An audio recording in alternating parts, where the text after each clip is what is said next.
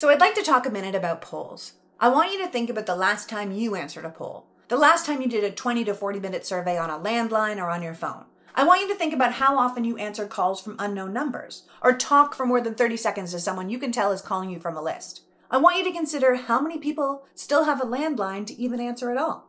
Now I want you to think about the kind of person who does have time to talk to a stranger for a certain period of time and give their opinions on a host of subjects. To be clear, I'm not throwing shade here. I personally try to answer polls whenever I have the time. I want pollsters to know what people like me are thinking. But honestly, mostly I just don't have the time, and I'm pretty sure I'm not alone in that feeling. But polls are powerful. They're a way for us to express our opinions to our nation's leaders and let the country know what we care about. Polls can also influence our emotions and shape our political system. We feel certain ways about certain polls, and our leaders pay attention to poll results and often use them in their decision making. Polls could be used to drum up support for a person or an issue or reveal how closely aligned or far apart people are on policy. But polls have been given a bad name these days. It seems as if they're wrong more often than they're right. But the truth is that actually depends on what's being polled and who's doing the polling. National polls on issues using scientific samplings of the population where the people being polled meet the criteria and are chosen at random from reputable companies like, say, Pew Research or Gallup or PBS, people who have credentials and track records, those can be incredibly accurate. Polling is actually a science, and done the right way, they can be incredibly effective at giving us a sense of the nation's view on something. Think about polls that show us that 85% of Americans believe abortion should be legal in certain circumstances, or 69% believe abortion should be broadly legal in the first three months. Those statistics, collected by reputable polling companies and are extremely consistent across companies, clearly reflect the will of the American people on the whole.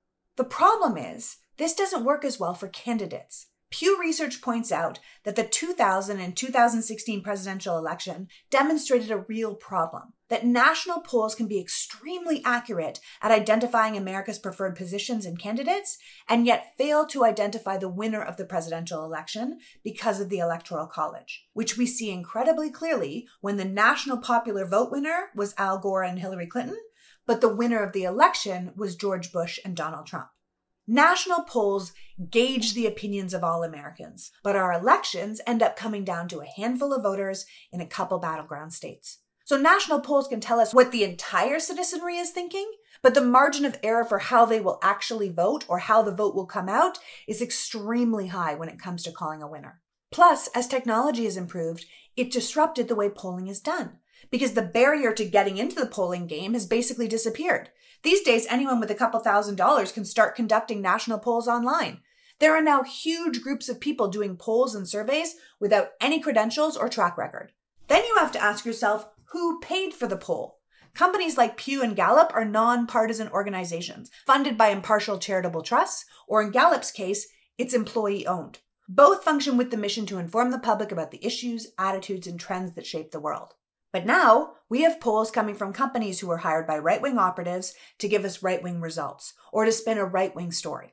And instead of vetting these companies, our media is buying these unverified and skewed results because it's good for ratings. The horse race between candidates increases engagement. The Democrats are doomed narrative increases engagement. The narrative that Joe Biden and Donald Trump are neck and neck is a huge moneymaker and it's great for clicks. But telling people the wrong information is a form of voter suppression. If people just assume their candidate is losing or can't win, they might not bother to vote. If people assume their candidate is just going to walk away with the election, they might not bother to vote. And polls have become a huge moneymaker for companies who do them and the pollsters they hire and the media companies who require the engagement to make their ad revenue. But even with all that money floating around, those polls might not actually reflect how the voters are actually going to vote. So I want you to watch who's doing your polls. Take the media and the candidates' spin on poll results with a huge grain of salt. Know that national polls from reputable companies on single issues and public sentiment are probably incredibly accurate. But polls from less reputable companies, or you don't know who did them, or you don't know who's paying for them, telling you how people are going to vote, have a far higher margin of error. Personally, I'd love to hear less about polls and more about issues. Less horse race, more substance. If we weren't talking about polls, we would be doing less Democrats are in trouble in 2024 and more Republicans are coming into 2024 with six consecutive years of election losses and embarrassing underperformances and a leader promising to be a dictator so he can pardon himself of all his criminal charges. I mean, call me crazy, but that's a hell of a lot more interesting than Joe Biden is old. Ultimately, we want polls to work.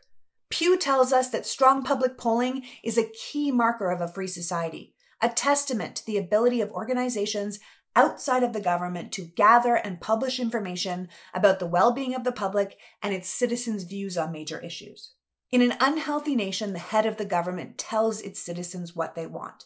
In a healthy nation, the citizens tell the government. At the end of the day, polls don't vote. People do.